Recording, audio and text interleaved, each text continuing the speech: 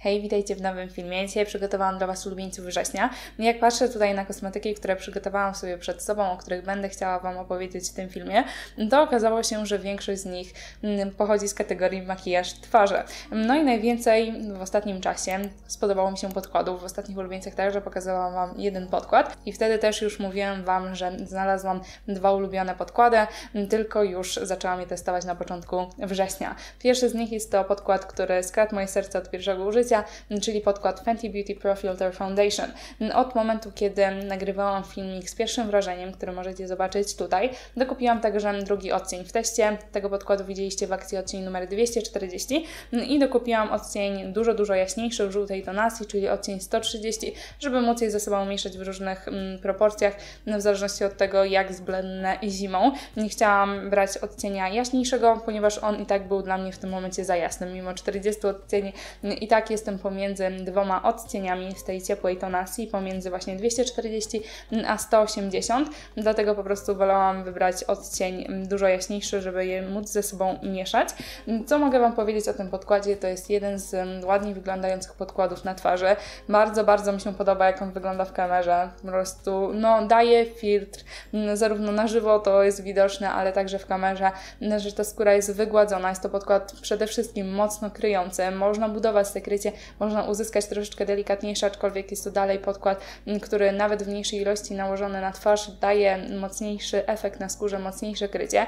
Przepięknie zakrywa wszelkie niedoskonałości i zaczerwienienia, wygładza strukturę skóry, wygładza widoczność porów, dzięki temu jakby ładnie odbija się od skóry światło i dzięki temu też właśnie pięknie wygląda w kamerze, na żywo, w takim naturalnym świetle, także przepięknie się prezentuje. Ja oczywiście, jak wiecie, no uwielbiam podkłady, które mają mocniejsze krycie, dlatego też bardzo mi się ten podkład podoba, jak on wygląda na twarzy. Bardzo dobrze się trzyma, mm, ładnie wygląda, bardzo naturalnie. Nie jest to podkład, który ma taki totalny mat, mm, tylko u mnie na skórze, która jest mieszana z tłustą strefą T, mm, on po jakimś czasie się odrobinę wyświeca, ale taki naturalny sposób, dający taki ładny blask. Sam w sobie właśnie nigdy nie jest taki totalnie matowy, żeby ta skóra wyglądała na suchą, wygląda bardzo naturalnie i zdrowo. To mam wrażenie, że cały czas patrzę się do dołu, ponieważ tutaj mam lusterko i podziwiałam, jak ten podkład pięknie wygląda.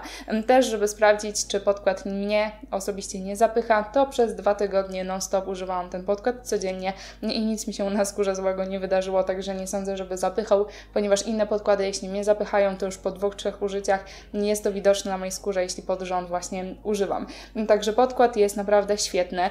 Co do samej kolorystyki, to muszę Wam powiedzieć, że tutaj lepiej jednak kupić ten podkład stacjonarnie w Sephorze. Nie wiem, jak wygląda dostępność Fenty Beauty w różnych Sephorach w całej Polsce, no ale jeśli macie dostęp jednak stacjonarnie, żeby obejrzeć te kolory, to polecam Wam sprawdzić, ponieważ właśnie minusem tego podkładu jest fakt, że on ciemnieje niestety. Nie ciemnieje w ciągu dnia, także w momencie, kiedy to wykryjecie i kupicie odpowiedni odcień dla siebie, no to już nie będziecie musieli się martwić, że on będzie w ciągu dnia ciemniał, ponieważ tego nie robi, tylko podczas aplikacji o tam 1-2 tony ciemnieje, także trzeba po prostu wybrać ten jaśniejszy od swojej własnej skóry. No no i też z tego co słyszałam, bardzo dobrze się sprawdza na skórze suchej, ponieważ tej skóry nie wysusza, ładnie na niej wygląda, nie podkreśla zmarszczek, porów. Do pokazania mam także opcję drogeryjną. Ostatnio bardzo przypadł mi do gustu podkład Match Perfection z marki Rimmel.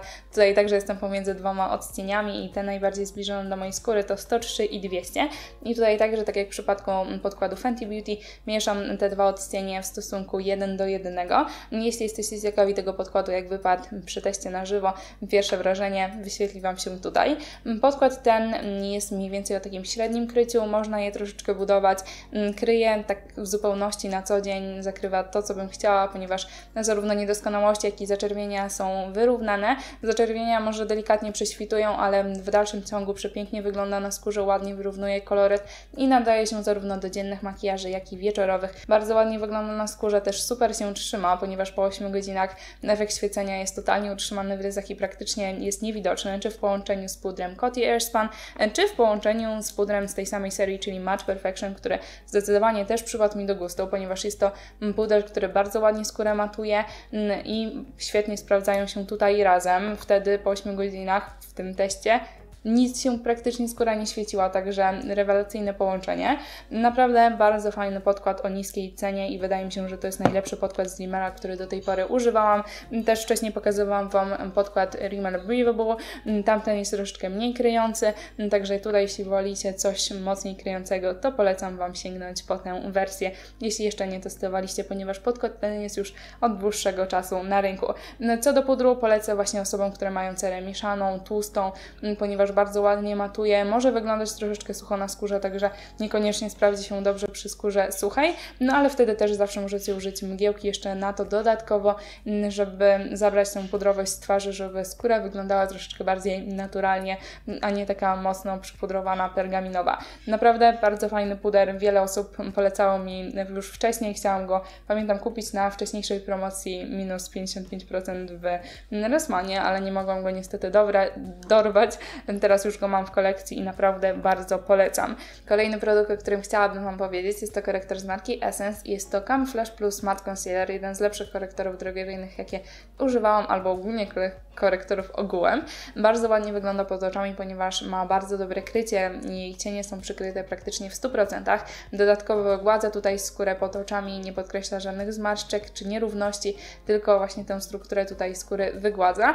Przepięknie wygląda i co mi się bardzo podoba, to fakt, jak ładnie odbija światło, rozjaśnia tą okolicę pod oczami i przepięknie dzięki temu wygląda zarówno w takim naturalnym świetle, jak i także w kamerze, co dla mnie jest akurat osobiście bardzo istotne, też będzie ładnie wyglądał na zdjęciach. Dlatego jest to naprawdę świetna opcja, jeśli chodzi o drogeryjną półkę.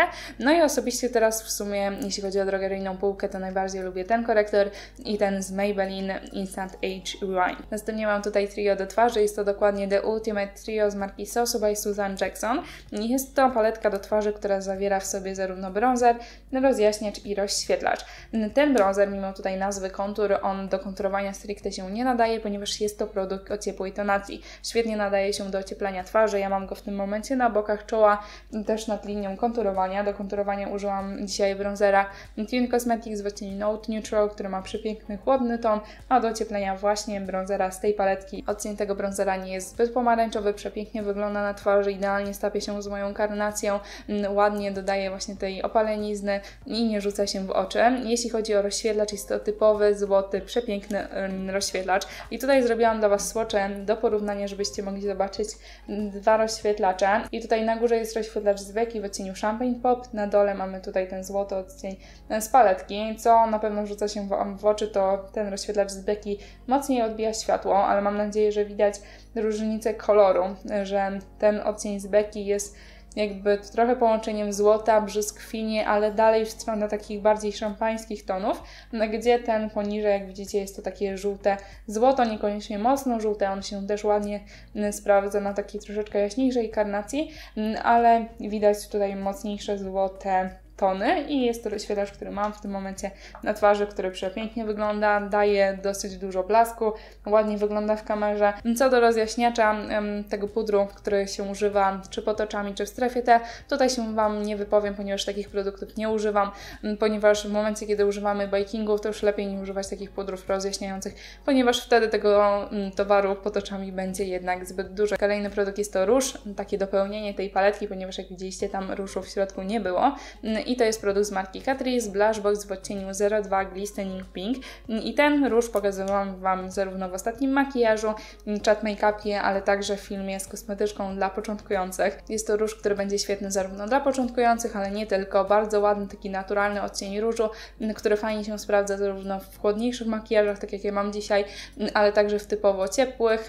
Daje taki bardzo ładny, naturalny efekt na skórze, bardzo dziewczęcy odcień różu. No ja mam w tym momencie na na twarzy ten róż na policzkach może jakoś mocno nie wyglądać, ponieważ też nie nałożyłam sporej ilości, ale co właśnie jest fajne w tym produkcie, to można efekt stopniować, uzyskać bardzo naturalny efekt, ale też można zbudować kolor i użyć tutaj większej ilości. Bardzo ładnie się rozkłada na policzkach, fajnie wygląda, nie tworzy żadnych smug, dobrze się rozciera, także jest to naprawdę świetna opcja. Ostatni produkt już nie z makijażu twarzy, tylko mamy tutaj szminkę z marki Sinskin by Patricia Kazadi i moja tutaj tutaj jest w odcieniu 002 i to jest najładniejszy odcień, mój ulubiony z tej całej kolekcji. No jest też piękny fiolet, ale jeszcze nie miałam okazji użyć, jakoś nie miałam ostatnio ochoty na taki mocny odcień na ustach. Przepiękne są także odcienie typowo metaliczne, ale ta szminka o tym odcieniu na pewno spodoba się wielu osobom, w szczególności na co dzień, ponieważ jest to taki ładny odcień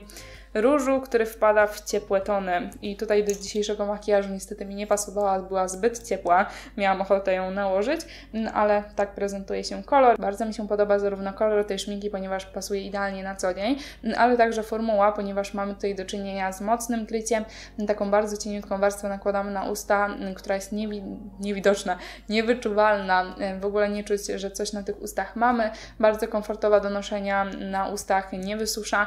Może nie jest zbyt zbyt trwała, ponieważ tutaj jeśli chodzi o jakiś kontakt z jedzeniem, to dosyć mocno się zjada. Jeśli chodzi o taki odcień, jest to niewidoczny, ponieważ praktycznie idealnie stapia się z kolorem ust, mm, ale co jest fajne, to można dokładać w ciągu dnia, nie tworzy się żadna skorupa, nie wchodzi w zmarszczki, ładnie tutaj strukturę na ustach wygładza, także jest to naprawdę bardzo dobra opcja, także też możecie po, tą, po ten produkt sięgnąć na tej promocji w Rossmanie, która zbliża się wielkimi krokami. Już by były wszystkie kosmetyki, które dzisiaj przygotowałam. W ostatnim czasie przetestowałam niesamowicie dużą ilość kosmetyków, w szczególności z niskiej półki cenowej, ponieważ przygotowuję się do filmu o promocji w Rossmanie, który pojawi się w niedzielę. Tam też usłyszycie o wielu tanich perełkach, które znalazłam w ostatnim czasie. W dzisiejszym filmie takie wybrałam najlepsze, ale ogólnie dużą ilość usłyszycie teraz w niedzielę, także serdecznie Was zapraszam. O 13 pojawi się w niedzielę film i będzie co oglądać. Dziękuję Wam bardzo za oglądanie. Dajcie mi znać, jacy byli Wasi ulubieńcy w poprzednim miesiącu i do zobaczenia w kolejnym filmie. Pa, pa!